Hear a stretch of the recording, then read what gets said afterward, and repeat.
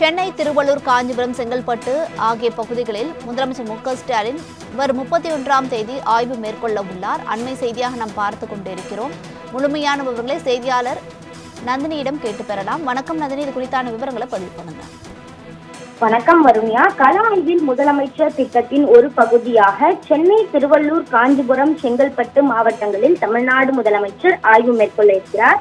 வரக்கூடிய முப்பத்தி ஓராம் தேதி செங்கல்பட்டு மாவட்டத்தில் இந்த ஆய்வுக் கூட்டமானது நடத்தப்பட இருக்கிறது.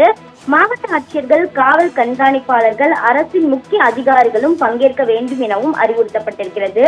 கள ஆய்வில் முதலமைச்சர் திட்டத்தின் பகுதியாக பல்வேறு மாவட்டங்களில் நேரடியாக சென்று தமிழ்நாடு முதலமைச்சர் ஆய்வு மேற்கொண்டு வருகிறார். அதன் ஒரு பகுதியாக தான் சென்னை திருவள்ளூர் காஞ்சிபுரம் செங்கல்பட்டு மாவட்டங்களில் செயல்படுத்தப்பட்டு வரக்கூடிய திட்டங்களின் நிலை தொடர்பாகவும் தமிழ்நாடு அரசின் திட்டங்கள் மக்களுக்கு முறையாக சென்று சேர்கிறதா என்பது குறித்தும் மாவட்ட ஆட்சியர்கள் காவல் கண்காணிப்பாளர்களுடன் முதலமைச்சர் ஆலோசனை மேற்கொள்ள இருக்கிறார்.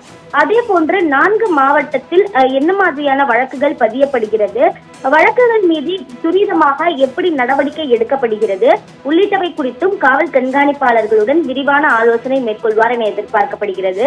சட்டம் ஒழுங்கு பிரச்சனையை நிலைநாட்ட மேற்கொள்ள வேண்டிய நடவடிக்கைகள் குறித்தும் விரிவான அறிவுரைகளை வழங்குவார் எனவும் தெரிவிக்கப்பட்டிருக்கிறது. அந்த வகையில் சென்னை திருவள்ளூர் காஞ்சிபுரம் செங்கல்பட்டு மாவட்ட ஆட்சியர்கள் மற்றும் காவல் கண்காணிப்பாளர்களுடன் வரக்கூடிய முப்பத்தி ஓராம் தேதி செங்கல்பட்டு மாவட்டத்தில் தமிழ்நாடு முதலமைச்சர் ஆய்வுக் கூட்டம் மேற்கொள்ள இருக்கிறார். இந்த ஆய்வுக் கூட்டத்தில் பல்வேறு முக்கிய அறிவுரைகள் வழங்கப்படும் என எதிர்பார்க்கப்படுகிறது.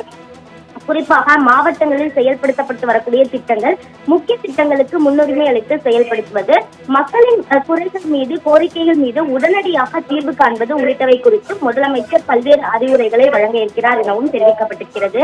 இந்த ஆய்வு கூட்டத்தில் எடுக்கப்படக்கூடிய முடிவுகள் அடிப்படையில் அடுத்த கட்டமாக மாவட்டங்களில் மாவட்ட வளர்ச்சி மேற்கொள்ளப்படும் எனவும் தெரிவிக்கப்பட்டுள்ளது. நந்தினி விவரங்களுக்கு நன்றி.